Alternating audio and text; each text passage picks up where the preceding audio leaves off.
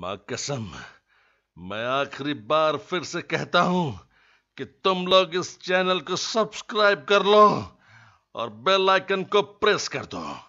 नहीं तो मैं चुन चुन के एक एक से इस चैनल को सब्सक्राइब करवाऊँगा। हाँ। व्हाट्सअप गाइस तो कैसे आप लोग? तो फाइनली गाइस मेरा नाम है प्रदीप और आप सभी का मेरे इस यूट्यूब चैनल पर हार्दिक स्वागत है। तो गाइज़ हर बार की तरह एक बार फिर आप सभी के लिए एक और स्पेशल वीडियो लेकर आ चुके हैं। तो गाइज़ आज की इस स्पेशल वीडियो को शुरू करने से पहले एक छोटी सी रिक्वेस्ट है आप सभी से लोगों से। अगर आपने इस चैनल को अभी तक सब्सक्राइब नहीं किया तो प्लीज़ चैनल को अभी सब्सक्राइब कर लीजिए, साथ ही वेलाइकन को भी प्रेस कर लीजिएगा ताकि आपको, आपसे इस चैनल का कोई भी लेटेस्ट अपडेट मिस ना हो पाए।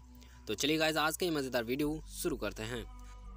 तो गाइज़ आज के इस वीडियो में मैं आपको चार से पाँच ऐसी टिप्स देने वाला हूँ, जिसके ज़रिए आप Realme C two Android mobile का स्टोरेज काफ़ी ज़्यादा इंक्रीज़ कर सकते हो और साथ ही काफ़ी ज़्यादा इंजॉय कर सकते हो। तो शुरू करते हैं सबसे पहले टिप से।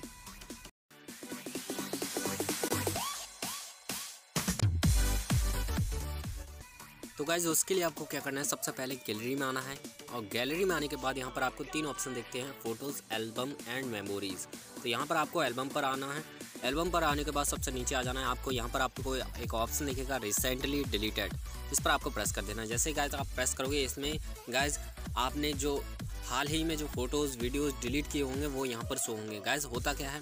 आप वहाँ से तो डिलीट कर देते हो, लेकिन उसका जो है यहाँ पर ये जो है स्टोरेज के तरीके से जमे हुए रहते हैं। यहाँ से अगर आप डिलीट करोगे, तभी ये डिलीट माने जाएँगे और तभी आपका जो है मोबाइल स्पेस जो स्टोरेज है, वो खाली हो पाएगा।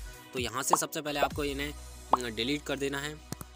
यहाँ पर फ़ोटोज़ और वीडियोज़ दोनों इकट्ठे होते रहते हैं। तो गैस यहाँ से अगर आप डिलीट कर दोगे, तभी आपका स्टोरेज खाली होगा।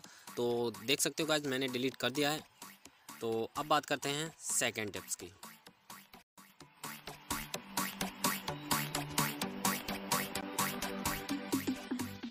तो गाइज़ सेकेंड टिप्स में आपको क्या करना है? सबसे पहले जो एप्लीकेशन आप ज़्यादातर अपने मोबाइल में यूज़ करते हो, उन एप्लीकेशन को आपको प्रेस किए रहना है थोड़े से टाइम के लिए और उसके बाद आपको कुछ इस तरीके से ऑप्शन होते हैं।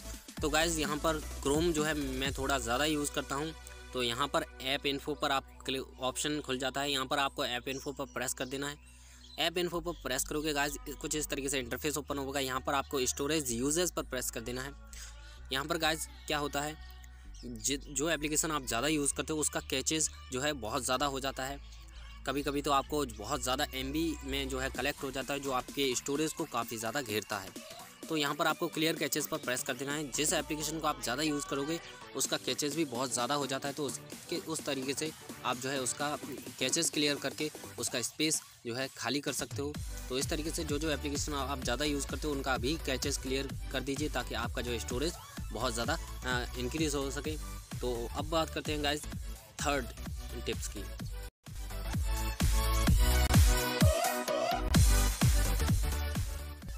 तो गाइज़ थर्ड स्टेप में आपको क्या करना है? सबसे पहले आपको फ़ोन मैनेजर एप्लीकेशन पर ओपन कर लेना है।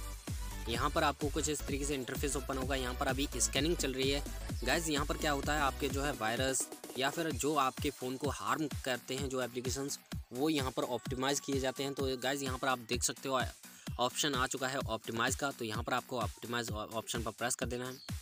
कुछ इस तरीके से ऑप्टिमाइज़ ऑप्शन ऑन कर देना है आपको। अब यहाँ पर थोड़ा सा टाइम लेगा ये ऑप्टिमाइज़ करने के लिए। तो आप देख सकते हो, डन हो चुका है। तो यहाँ पर इस तरीके से आपको बार बार तो नहीं, लेकिन आप पाँच से छः दिन के बाद ये, जो है, एक्टिविटी कर सकते हो अपने मोबाइल पर।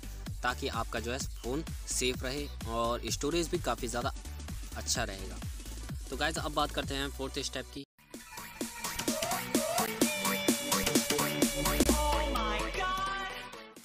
तो गाइज़ जैसा कि आपको पता है रियल मी सी टू की काफ़ी स्टोरेज बहुत ज़्यादा कम होती है दूसरे मोबाइलों की देखते हुए। तो इसके लिए आपको क्या करना है, आपको अपने मोबाइल में एच कार्ड को यूज़ करना है। एच कार्ड आई होप आप सब कुछ समझ गए होंगे एच कार्ड क्या होता है। एक तरीके से आप जो है इससे क्या कर सकते हो? कोई भी अगर आप वीडियो या फिर म्यूज़िक या कोई फ़ाइल या फिर एप्लीकेशन कोई भी अगर आप डाउनलोड करते हो तो डायरेक्ट उसे एच कार्ड में भेज सकते हो। जिससे क्या होगा, आपका जो है फ़ोन स्टोरेज उतना ही रहेगा, बाकी आपका एस कार्ड में एप्लीकेशन डाउनलोड होते रहेंगे। अगर आप म्यूज़िक एंड वीडियोज़ डाउनलोड करते हो तो वो भी आप उन्हें एस कार्ड में ट्रांसफ़र कर सकते हो। तो उसके लिए आपको क्या करना है, क्रोम को ओपन कर लेना है। क्रोम को ओपन करने के बाद यहाँ पर थर्ड थर्ड, ये गाइज़ आपको जो है थ्री डॉट का ऑप्शन दिखता है, इस पर आपको प्रेस कर देना है। गाइज़ यहाँ पर आप प्रेस करोगे तो यहाँ पर आपको डाउनलोड ऑप्शन दिखेगा। इस पर आपको प्रेस कर देना है। यहाँ पर आपको सेटिंग्स पर प्रेस करना है। सेटिंग्स पर प्रेस करने के बाद यहाँ पर आपको डाउनलोड लोकेशन पर प्रेस कर देना है। यहाँ पर आपको दो ऑप्शन दिखते हैं। या तो आप मोबाइल में डाउनलोड कर रहे हो या फिर आप एच कार्ड में। तो यहाँ पर आप एच कार्ड को सिलेक्ट कीजिएगा ताकि क्या होगा गाइज़ आप यहाँ से इस एप्लीकेशन के ज़रिए अगर वीडियो मूवीज़ या फिर कोई एप्लीकेशन डाउनलोड करते हो तो वो डायरेक्ट आपका जो है एच कार्ड में ट्रांसफ़र होगा, ना कि मोबाइल में। तो इस तरीके से आप काफ़ी ज़्यादा स्टोरेज बचा सकते हो।